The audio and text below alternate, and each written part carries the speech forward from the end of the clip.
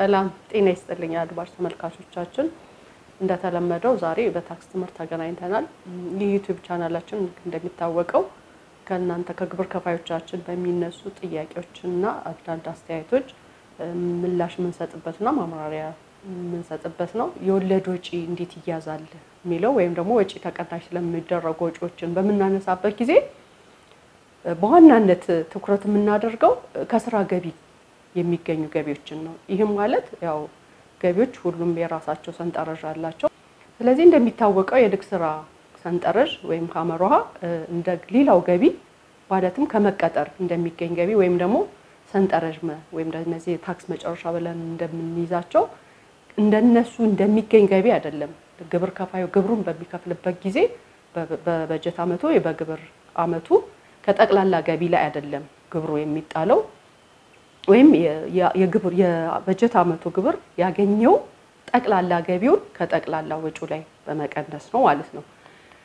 ስለዚህ ይህ እንደ ወጪ ልንይዝለት የምንችለው ግብሩ የሚከፈልበት ወይ ታክሰብል ኢንካም እንዴት ነው ልንደርስ የምንችለው በገቢ ግብሩ አዋጁና መመሪያ መሰረት እንዴት አድርገን ያንን የአስፈላጊ ወጪ ነው ወይም ደግሞ ለግብር ከፋዩ ወጪ ነው በበጀት አመቱ ሊያዝለት የሚገባ ወጪ ነው ብለን ልንይዝለት የምንችለው እንዴት ነው እንዴት ነው ልንደርስ የምንችለው ነው። ስለዚህ በዚህ ላይ ገቢው ገቢ ባገኘ ልክ ወጪው ሊያዝለት የሚችለው ከግብር ታክስ ከግብር ዓላማ አንጻር እንዴት ነው የሚለው ዋናው ተቀናሽ ወጪዎች የሚደረጉ ናቸው ማለት ነው። በተለይ በገቢ ግብራችን እንደተቀመጠው 979 2008 እና በመመሪያው ቁጥር 5 2011 ላይ በግልጽ ተቀምጧል።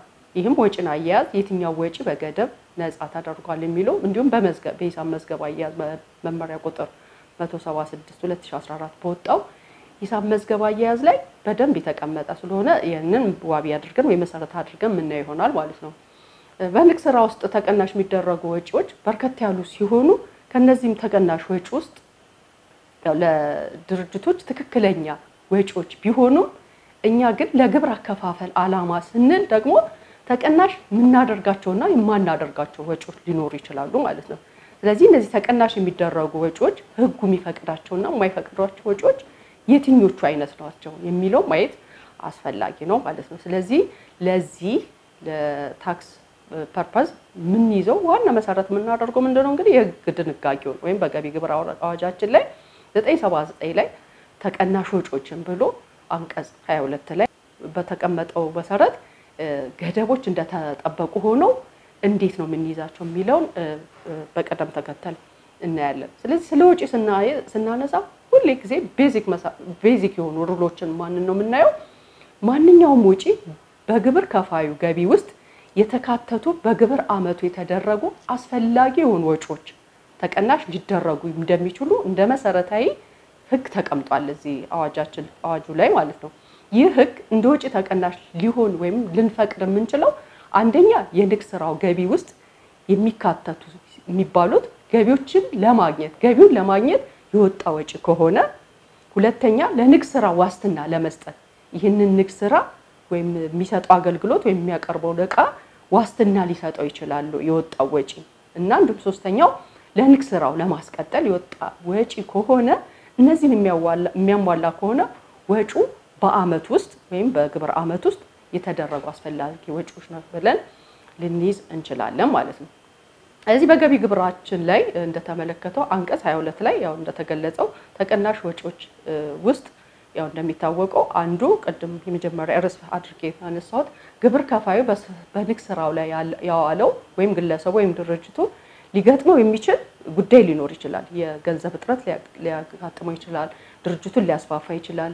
ሌላ ሴክተር ሊከፍት ይችላል። ስለዚህ የገንዘብ እጥረት በሚያጋጥመው ጊዜ ከፋይናንስ ተቋማት ወይም ከፋይናንስ ውጪ ብድርን የገንዘብ ብድር ሊወስድ ይችላል። ስለዚህ ይህን በሚወስድበት ጊዜ ያው አብዛኛው ግብር ከፋዮች የንግድ ስራቸውን የሚያካሂዱት ገንዘብ ተበድረው ስለሚሆን ስለዚህ እኛ ይህንን እንደ ወጪ አድርጎ ሲያቀርብ እንዴት አድርገን ተቀናሽ ልንፈቅድለት የምንችለው የሚለውን በዋነኝነት የምናነሳው ነጥብ ሲሆን ወለድ ወጪ እንዴትና መቼ እንዲሁም ደግሞ ምን ሲያሟላ እንደ ወጪ ይያዛል የሚለውን እናያለን ማለት ነው።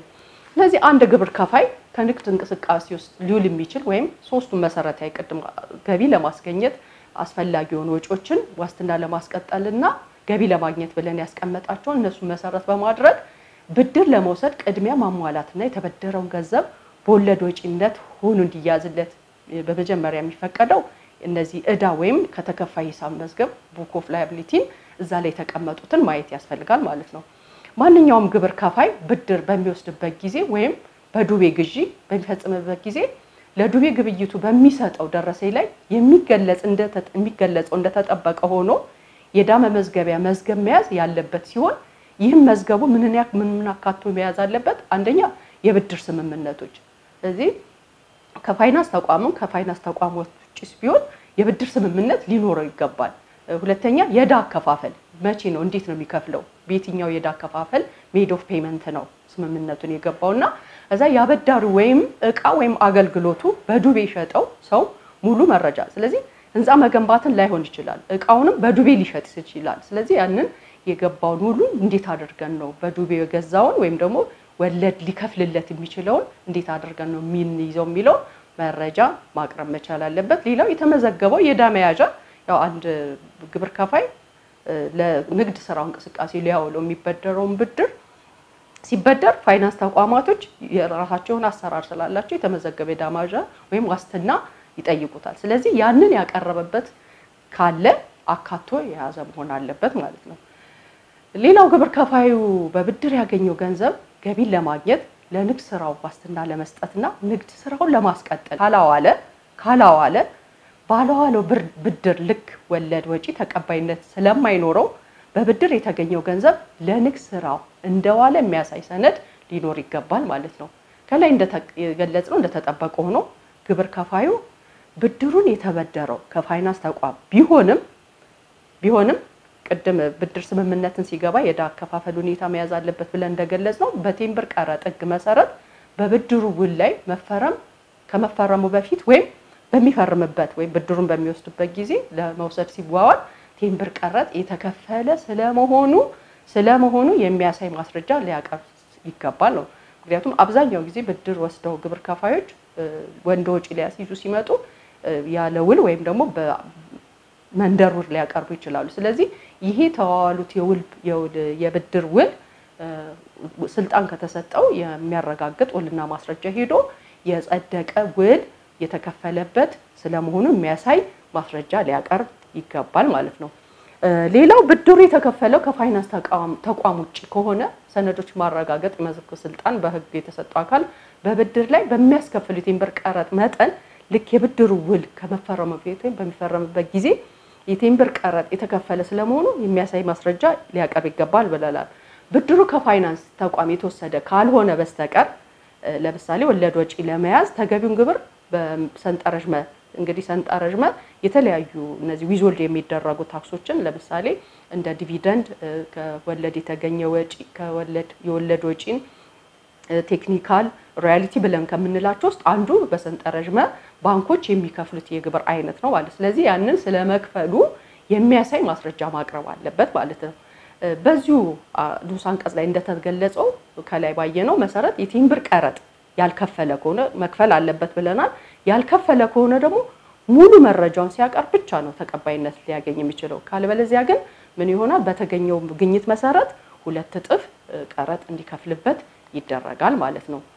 ስለዚህ የወለድ ወጪ በተቀናሽነት የሚያዘው ሌላው ዋናውና ዋናው መሰረተ ሀሳቡ ምንድን? የወሰደው ለንግድ እንቅስቃሴው ወጪ ገቢን ለማስገኘት ነው አይደለ? ወጪ እንዲያዝለት የሚያስፈልገው። ስለዚህ የወለድ ወጪ እንዲያዝለት በተቀናሽነት የሚያዘው ብድሩ ለንግድ ስራ ገቢ ለማግኘት የዋለ ወይም የወለድ ወጪው በብድሩ የተገኘው ገንዘብ ለንግድ ስራ መዋሉ ሲረጋገጥ ነው። ምክንያቱም አንዳንድ ድርጅቶች ወይም አንዳንድ ግብር ከፋዮች የወሰዱትን ብድር ለዛው ለታለመለት ዓላማ ሳያውሉት ሊቀሩ ስለሚችል ነው። ለምሳሌ አንድ በኤክስፖርት ዘርፍ የተሰማራ ግብር ከፋይ ቡናን ለመላክ ከአንድ ከፋይናንስ ተቋም ወይም ከፋይናንስ ተቋም ውጭ ከሆነ አስር ሚሊዮን ከባንክ ቢበደር የተበደረውን ብር አምስት ሚሊዮኑን ብር ብቻ ለኤክስፖርት ዘርፍ ለተሰማራበት ለዛ ቢያውለውና በላኪነት ለዋለው ለላኪነቱ ስራ ቢያውለውና ሌላውን ግን አምስት ቢሊዮኑን አምስት ሚሊዮኑን እንግዲህ አስር ሚሊዮን ነው ተበድሯል ያልነው አምስት ሚሊዮኑን ለሌላ ተግባር ድርጅት ቢያስፋፋበት ወይም ደግሞ ከኤክስፖርት ውጭ ለሌላ ዘርፍ ቢያውለው ወይም ለግል ጥቅሙ ቢያውለው እዚህ ጋር እንዴት ነው ወጪ የሚያዘው? እንደ ወጪ ተይዞ እንደ ወጪ ተቆጥሮ ይያዝለታል ወይ ነው። መመሪያ ቁጥር 5 2011 ላይ በግልጽ እንደተቀመጠው የወለድ ወጪ አያያዝ ላይ እንደተቀመጠው የወለድ ወጪ ሊያዝ የሚችለው በብድሩ የተገኘውን ገንዘብ ለንግድ ስራ ወይም ለተወሰነው ለንግድ ስራ የስራ እንቅስቃሴ። ስለዚህ አሁን እዚህ ጋር የተወሰነ የስራ እንቅስቃሴ ማን ነው? በምሳሌው መሰረት ለኤክስፖርት ነው የተበደረው። ስለዚህ ሙሉን ሙሉ በሙሉ ለንግድ ስራ ወይም ደግሞ ለኤክስፖርቱ ዘርፍ ማዋል መረጋገጥ መቻል አለበት ማለት ነው። ከዛ ውጭ ግን ለሌላ የዋለው ተቀንሶ በዋለው ብቻ ልክ የወለድ ወጪ እንዲያዝበት ይደረጋል ማለት ነው። ስለዚህ አንድ ግብር ከፋይ ለተወሰነ የስራ እንቅስቃሴ በድርጅቱ ስም የተበደረው ወይም በብድር ለሌላ ተግባር የሚያውለው ወይም ይህንኑ በብድር ለሌላ ተግባር በብድር የሰጠ ከሆነ የሚፈቀደው የትኛውን ማለት ተቀናሽ የሚደረገው የወለድ ወጪው ለሌላ ያላዋለው ተቀንሶ ለልንቅስ እንቅስቃሴ በዋለው መጣኔ መጠን ብቻ ይሆናል ማለት ነው። ሌላው ከብድሩ የተገኘው በብሔራዊ ባንክ እውቅና ከተሰጠው ፋይናንስ ተቋም ወይም ብድር እንዲሰጠው ከተፈቀደለት የውጭ ሀገር ባንክ ከሆነ ስለዚህ እዚህ እነዚህ ይህም ይፈቀዳል ማለት ለውጭ ሀገር አበዳሪ የተከፈለ ወለድ ቅናሽ ሊደረግ የሚችለው አበዳሪው ብድሩን ለመስጠት ከኢትዮጵያ ብሔራዊ ባንክ ፈቃድ ያገኘበት ሰነድ ለባለስልጣኑ ካቀረበ ብቻ በመጀመሪያ በኢትዮጵያ ብሔራዊ ባንክ ፈቃድ ማግኘት መቻል አለበት ለማበደር ማለት ነው። ስለዚህ ሰነድ ቅጁን ቅጁን ለባለስልጣኑ ካቀረበ ብቻ ነው አንደኛ በመጀመሪያ የሚፈቀድለት ነው። ሌላው በብድር ወለድ መክፈል የሚቻለው የብድር ወለድ ሊከፈል የሚቻለው ይሄ ከብሔራዊ ባንክ እውቅና ከተሰጠው ፋይናንስ ተቋም ሆኖ ከውጭ ሀገር ከሆነ የብድር ወለድ መክፈያ የሚቻለው በብሔራዊ ባንክና በንግድ ባንክ መካከል በተደረገው ብድር ከሚታሰብ የወለድ መጣኔ ሁለት percent ባልበለጠ ብቻ ነው። ለምሳሌ ብሔራዊ ባንክና በንግድ ባንክ በዘጠኝ percent የሚያበድረው ከሆነ ያ የውጭ ባንክ ሊያበድር የሚችለው በሁለት ባልበለጠ እስከ 11 ብቻ ነው ማለት ነው። ከዛ ውጭ የሆነው በወጪነት አይያዝለትም ነው። የውጭ ሀገር ባንክ ብድር አገር ውስጥ ብድር የሰጠ እንደሆነ በወጪነት የምንይዘው ያው ብሔራዊ ባንክ የፈቀደውን ይህን ብድር እንዲሰጥ የፈቀደ ከሆነ ማስረጃውን የያዘው እንደሆነ ይህን ካልያዘ ግን እንደ ወጪ አንይዝለትም ማለት ነው።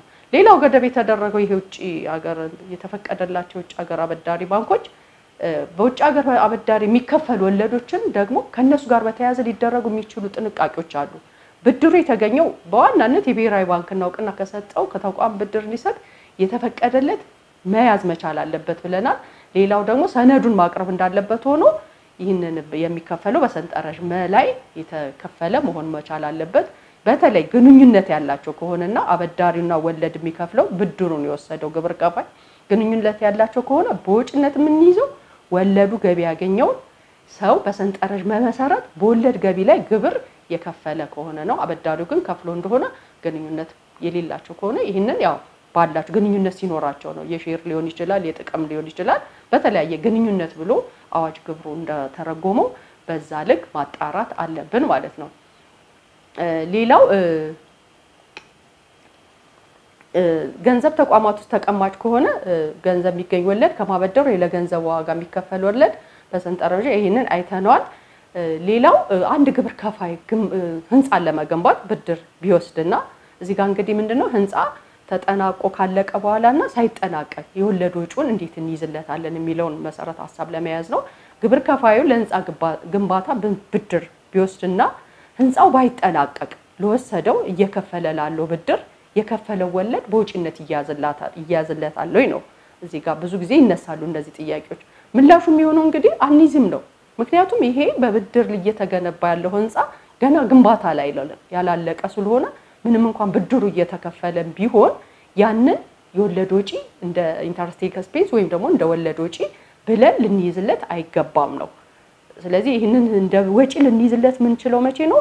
ህንፃው ተገንብቶ ገቢን ማመንጨት ሲችል ያ ህንፃው ዋጋው ማለት የህንፃው ህንፃው ተገንብቶ ከተጠናቀቀ በኋላ ያው ገቢ ስላመነጨ እንደ ወጪ እንይዝለታለን። ግን ያኛው ያልተጠናቀቀ ስለሆነ የህንፃ ዋጋ ተብሎ ይያዛል ወይም ደግሞ በህንፃ ዋጋው ተካቶ ይያዛል እንጂ እንደ ህንፃ ወይም ደግሞ capitalized እናደርገዋለን እንጂ የወለድ ወጪ ብለን ልንይዝለት አንችልም።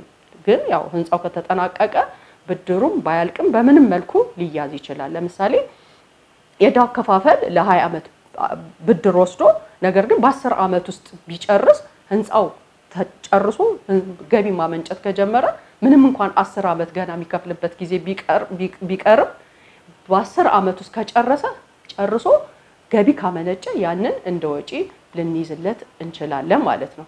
ስለዚህ በዋነኝነት እንግዲህ ስለ ወለድ ወጪ አያያዝ ስናነሳ ልናያቸው የሚገባው ማጠቃለያው ሊሆን የሚችለው ምንድነው? ግብር ከፋዩ በብድር ያገኘው ብድር የፋይናንስ ተቋም በሚሆንበት ጊዜ የወለድ ወጪ ሊያዝ የሚችለው ለንግድ ስራ ለማግኘት ከዋለ ወይም የወለድ ወጪው በብድር የተገኘው ገንዘብ ለንግድ ስራ እንቅስቃሴ መዋሉ ሲረጋገጥ፣ ይሄኛው አንደኛው ነጥብ ነው። ሌላው በብሔራዊ ባንክና በንግድ ባንክ መካከል የተደረገ ብድር የሚታሰብ የወለድ መጣኔ ሁለት percent ባልበለጠ ነው። ሌላው የተመዘገበ ዕዳ መያዣ ዋስትና ካለ አካቶ መያዝ አለበት። በብድር የተገኘው ገንዘብ ቴምብር ቀረጥ ሕግ መሰረት በብድር ውል ከመፈረሙ በፊት ወይም በሚፈረምበት ጊዜ የቴምብር ቀረጥ የተከፈለ ስለመሆኑ ማስረጃ ማቅረብ አለበት። ብሔራዊ ብድሩ የተገኘው በብሔራዊ ባንክ እውቅና ከተሰጠው የፋይናንስ ተቋም ወይም በብድር እንዲሰጥ ከተፈቀደለት የውጭ ሀገር ባንክ ሊሆን ይችላል፣ ሌላ source ግለሰብ ሊሆን ይችላል ከሆነ ያ ከተፈቀደለት ባንክ የተወሰደ ብድር የተከፈለ ወለድ ያለ ገደብ እንዲቀነስለት ይደረጋል ነው። በብድር የተገኘው ገንዘብ ገቢ ለማግኘት ይህን መሰረታዊ ስለሆኑ ነው የምደጋግመው። ለንግድ ዋስትና ስለመስጠት ይኸው ካላዋለው ባለዋላዋለው ብድር ልክ የወለድ ወጪ ተቀባይነት ስለማይኖረው ብድሩ የተገኘው ለገንዘብ ንግድ ስራ እንደዋለው የሚያሳይ ሰነድ ሊኖረው ይገባል ማለት ነው። ሌላው ከፋይናንስ ተቋም ውጭ በሚሆንበት ጊዜ ያው በሰነዶች ማረጋገጥ መመዝገብ ሕግ ስልጣን ባለው በተሰጠው አካል የቴምብር ቀረጥ የከፈለ ስለመሆኑ የሚያሳይ ማስረጃ ማቅረብ አለበት ብለናል። ሌላው በሰንጠረዥ መሰረት ተገቢውን ይሄ ብሔራዊ ባንክ እውቅና ከሰጠው ፋይናንስ ተቋም ወይም ደግሞ የውጭ ሀገር ባንክ ከሆነ በሰንጠረዥም መሰረት ተገቢውን ግብሩ ስለመክፈሉ ማስረጃ ሊኖረው ይገባል ብለናል። ስለዚህ ቴምብር ቀረጥ ያልከፈለ ከሆኑ ሙሉ በመረጃነት ሲያቀርብ ተቀባይነት የሚያገኘው ያው ሁለት እጥፍ ቴምብር ቀረጥ የከፈለበት ከሆነ ብቻ ነው ብለናል። ይህንን ያው ይመስላል የወለድ ወጪ አያያዝ።